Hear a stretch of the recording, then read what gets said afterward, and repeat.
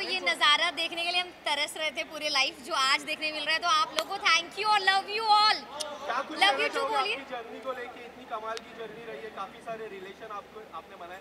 कोई ऐसा रिलेशन जो आपके साथ हमेशा चलने वाला है? इस घर के बाहर भी वो रिलेशन का, कामयाब रहेगा। हाँ मेरे दो बहुत अच्छे दोस्त बने हैं अभिषेक और एल्विस।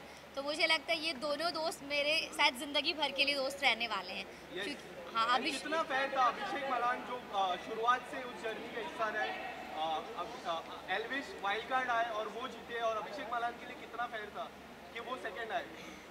मुझे अगर क्योंकि एल्विस बहुत स्ट्रॉन्ग पर्सनालिटी है बट नो डाउट अभिषेक भी बहुत है।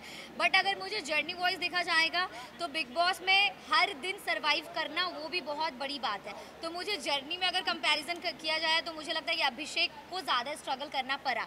बट अगर एल्विस जीता है तो वो भी डिजर्विंग है, क्योंकि कहीं ना कहीं जनता उनको बहुत ज़्यादा पसंद की है। बट फिर अगर स्ट्रगल बोला जाएगा तो जो वाइल्ड कार्ड आते हैं, उनको स्ट्रगल कम करना पड़ता है, क्योंकि वहाँ एक एक दिन भी सर्वाइव करना बहुत बड़ी बात है।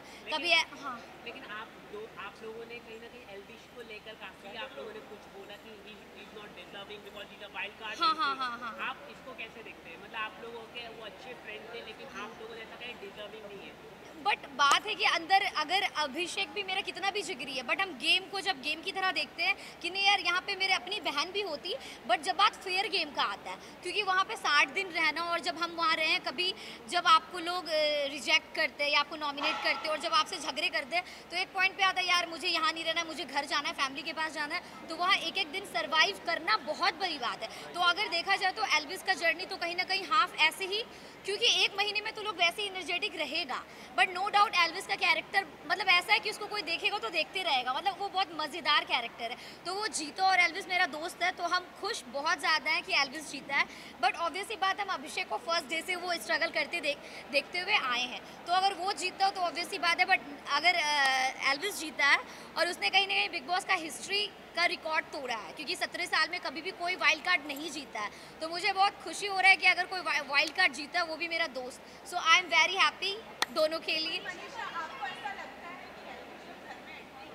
हाँ? है। हाँ। अ, आपसे और अभिषेक से दोस्ती बनाई हालाँकि अभिषेक अ, से उनके वो फ्रेंड थे बाहर। हाँ, हाँ, हाँ। लेकिन आपको लगता है उन्होंने आप स्टार्टिंग में आप लोगों का सहारा लेकर और गेम की शुरुआत की घर में अ, अपना मेंटेन कर लिया उसके बाद में अब वो ट्रॉफी लेकर जा रहे हैं इस बारे में क्या कहना चाहेंगे नहीं मुझे लगता है कि वाइल्ड कार्ड का एक थोड़ा ये भी फ़ायदा होता है कि वो बाहर से सीज़न देख के आता है। तो उसको ऑलरेडी पता रहता है कि कौन अच्छा है, कौन सच्चा है या फिर कौन चल रहा है। तो कहीं ना कहीं, पर मुझे ऐसा नहीं लगता कि एल्विस का ये स्ट्रैटेजी होगा कि जाके इन लोग से ही दोस्ती करना है। बट एक होता है ना कि मतलब समझ में आ जाता है कि ये बंदे लोग सही है। तो एल्विस कहीं ना कहीं दिल से भी कनेक्ट हुआ है हम लोग से। सिर्फ़ ऐसा नहीं कि मनीषा और अभिषेक स्ट्रॉन्ग पर्सनैलिटी है या जो भी। तो मुझे लगता है कि उनका कनेक्शन हम लोग के साथ दिल से भी हुआ है। हाँ।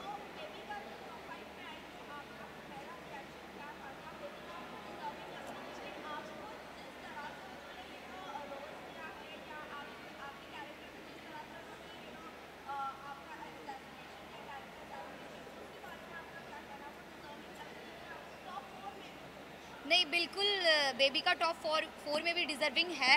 क्योंकि मेरा मानना है कि मुझे कोई कितना भी इंसल्ट करे या कुछ भी बोले बट एज अ कंटेस्टेंट हम देखते हैं तो हम उन्होंने मुझे बहुत बार वो किया नॉमिनेट किया बट हम आज तक उसको कभी नॉमिनेट नहीं किया क्योंकि मेरा, कोई मेरे को कितना भी बोल दे बट जब गेम का बात आता है तो हम बहुत ऑनेस्ट है उसको लेके। अगर कोई बंदा मुझे डिजर्विंग लगता है तो हम उसको कभी नॉमिनेट नहीं करेंगे, मुझे लगेगा नहीं। अगर वो लड़ी भी है, पर उसने इस शो के लिए बहुत कुछ किया है तो मेरा ऐसा नहीं है कि हम पर्सनल दुश्मनी नॉमिनेशन में या कुछ बेबी का डिजर्व करती थी टॉप फोर तो वो आई। सिस्टम सिस्टम ने आगे सिस्टम हिलाया, पूरे बिग बॉस 16 सीज़न का उसने रिकॉर्ड तोड़ा है नो डाउट हम बहुत खुश है कि एल्विस जीता है, क्योंकि एक होता ना, वो शायद यही कर सकता था, शायद कोई और ना कर पाए। तो सिस्टम ने पूरा सिस्टम हिलाया और सिस्टम का सिस्टम हम हिलाए। हिलाए या नहीं मनीषा भट्ट ने कहा था कि मनीषा सेल्फ ऑब्सेस्ड है और घर के बाहर जाने के बाद में मनीषा को अपने अलावा और कोई नहीं दिखने वाला और एल्विश और अभिषेक के साथ जो उसकी दोस्ती है वो भी सिर्फ़ घर के अंदर है बाहर जाके इतना कुछ मैटर नहीं करने वाला इस बारे में क्या कहने वाले हैं आप? मुझे लगता है अगर साठ दिन अगर जो भी जनता मुझे देखे है तो कहीं ना कहीं मुझे इतना बोलना नहीं पड़ेगा। बट हम कभी भी दोस्ती सिर्फ़ फ़ायदे के लिए नहीं करते। मेरा जो कनेक्शन है, वो चाहे अभिषेक हो या एल्विस हो, उनसे बहुत प्योर और एकदम दिल वाला है। अगर हम घर के अंदर कर रहे हैं तो बाहर भी करेंगे। तो इस पर आई थिंक साठ दिन में अगर जो जनता मेरा जर्नी देखा है तो हम किसी को कुछ भी करते तो दिल से देते हैं। मेरे अंदर बहुत प्यार भरा हुआ है तो हम जब करते हैं तो ऐसे दिल से करते हैं, ऐसा कुछ नहीं है